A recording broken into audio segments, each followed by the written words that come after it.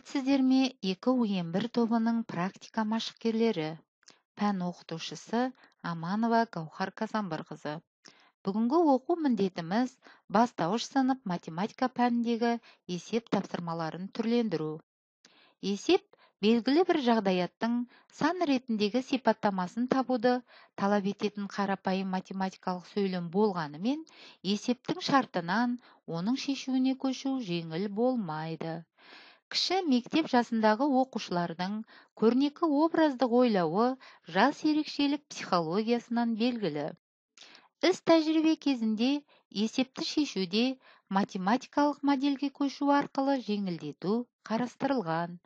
Модельдеудің маңызы дерек пен ізделінді арасындағы байланысты дұрыс тағайындауға көмектеседі амалдардың ретін анықтауға септігін тигізеді сабақтың уақытын үнемдейді. Логикалық және шығармашылық белсенділігін дамытады. Модельдеудің негізгі қағидалары дұрыстылық көрнекі математикалық дәл және логикалық қатаң болуы тиіс. Есептерді іс тәжірибе кезінде түрлендірудің кейбір тәсілдеріне тоқталайық. Бізге мынандай бір есеп берілсін алдымен. Бір үйде 80 пәтер екінші үйде одан екі есе кем оқушы бұл есепті әрине оңай шығарып қояды 80-ді екіге бөледі дағы 40 екенін екінші үйде 40 пәтер бар деп бірден табатын болады енді осы есепке шығарып қойған оқушыға мынандай сұрақтарды қоюға болады. Осы есепті қалай түрлендірер едіңіз? Яғни мынаған енді екі амалмен шығарылатындай етіп өзгертші бұдан оқушы осы бірінші үймен екінші үйде барлығы қанша пәтер бар деп сұрақ қойып өзгертуі мүмкін. Әрине есеп өзгерді. Енді осы есепті басқа амалмен шығарылатындай етіп өзгертші дейтін болсақ бала тура осы есепті былай өзгертуі мүмкін. Бірінші үйде 80 пәтер бар ал екінші үйде одан екі есе артық. Яғни мұнда мүлдем басқа амал шығады. Себебі 80-ді екіге көбейтіп бұл екінші үйде 160 пәтер. Енді екінші бір түріне келетін болсақ есепті бірнеше тәсілмен шығару үшін оны әртүрлі талдау негізінде шешу жоспарын құрған жөн. Алдымен сіздерге бір есепті ауызша оқып берейін. Ержанның 10 жолды дәптері және 5 тор көзді дәптері бар. Ол үш дәптерін інісіне сыйлады. Сонда ержанда неше дәптер қалды? Әрине енді бала оны жылдам түсіну үшін сызба нұсқа түрінде модельдеп шығаратын болады. Яғни баладан жаңа не айттық?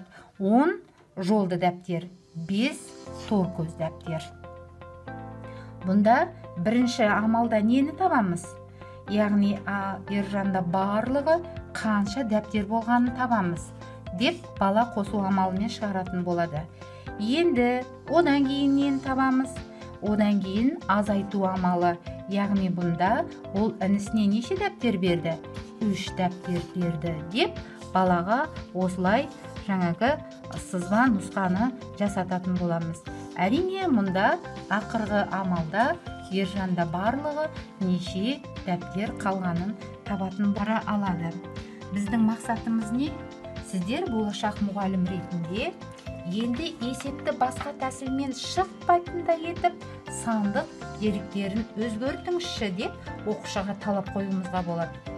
Яғни мұнда енді сандық деректерін өзгертуге тырысады.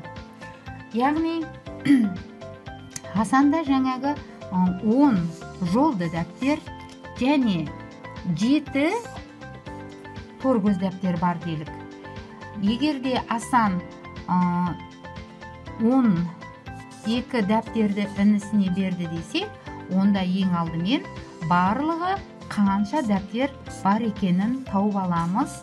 Одан кейін ол берген дәптерді оқушы бірден қалғанын есептеп шығара алатын болады.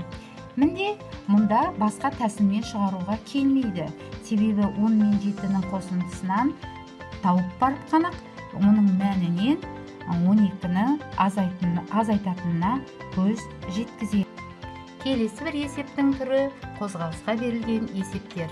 Яғни осы қозғалысқа берілген есептерді оқушылар қалай түрлендіреді? Бұл есепті түрлендіру үшін жылдамдық жылдамдық қашықтық және уақытқа берілген есепті оқушы бірден формулаға салып шығарып қоятыны белгілі. Ендігі кезекте оқушыға қасындағы досына кедергі келтірмес үшін немесе ол оқушының шығармашылық логикалық қабілетін арттыру мақсатында есепті түрлендіруге ә, тапсырма беріледі.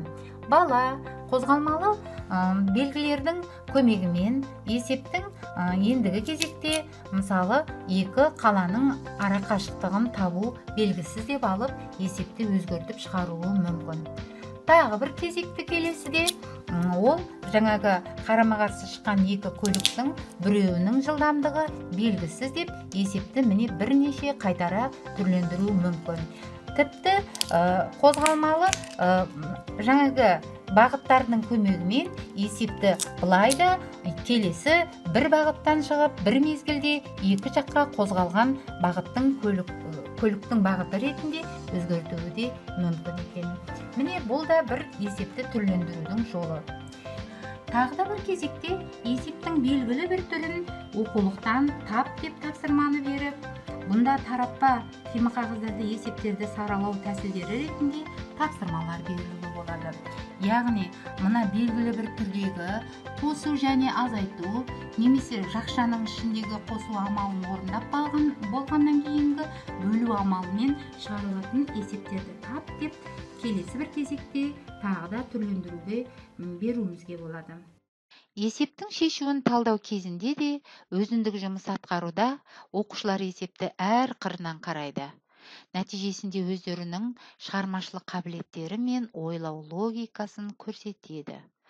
Машықкерлер іс тәжірибе кезінде математикалық модельдерді қолдану аясын кеңейте түсесіздер. Оқу нәтижесіне бағытталған белсенді оқытудың әдіс тәсілдерін сабақтың өн бойында қолдануды мақсат етейік. Оқушының жеке жас ерекшеліктеріне сәйкес саралауда есептер мен тапсырмаларды түрлендіріп қолдануға ұсыныс беремін. Жаңартылған білім беру аясында оқу нәтижесін бағалау смарт форматтағы оқу мақсаттарына бағытталғанын білесіздер. Оқушыға математикалық есептерді түсіндіруде өмірмен байланыстыра отырып функционалдық сауаттылықты арттыруымыз қажет. Сіздерге үй тапсырмасы берілген. Кері байланысқа шығуларыңызды сұраймын. Тыңдағандарыңызға рахмет.